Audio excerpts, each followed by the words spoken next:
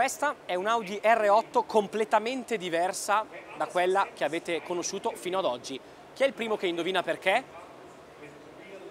Beh, ve lo dico io, perché questa è la prima Audi della storia a trazione posteriore. Sono quasi commosso mentre sono vicino a quest'auto perché dopo tanti anni eh, in cui la Casa dei Quattro Anelli è rimasta fedele alla tecnologia 4 e quindi alla trazione integrale, ha finalmente, aggiungo io, deciso di fare una supercar per puristi, quindi con la sola trazione posteriore. Il suo nome è Audi R8 RVS, un acronimo che indica Rear Wheel Series. La, notizia brutta è che è un'edizione limitata a soli 999 esemplari, però tant'è, la R8 a trazione posteriore esiste ed è una realtà e la, e la potrete comprare.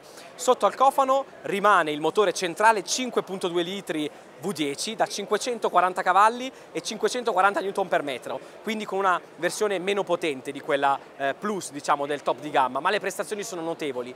3.7 eh, secondi eh, per lo 0 a 100, 3.8, pochissimo di più per la Spider e 320 km orari di velocità massima. Rispetto alla eh, versione tradizionale dell'R8, quella con trazione 4, eh, qui si sono fatti progressi anche dal punto di vista del peso, perché la massa totale si è ridotta di 50 kg, eh, quindi il peso scende a 1590 kg totali. Vedete che la trazione posteriore fa bene sempre alle supercar, in questo modo l'Audi in qualche maniera replica la filosofia eh, della gemella, diciamo, supercar Lamborghini Huracan, anche lei disponibile in una versione con la sola trazione eh, posteriore e devo dire che è una gran bella notizia, anche perché i prezzi, se rimangono ovviamente riservati a pochi, perché si tratta pur sempre di una supercar, si sono leggermente ridotti. La Rear Wheel Series verrà offerta in Germania eh, a 140.000 euro per la versione coupé e 153.000 euro per la versione eh, Spider.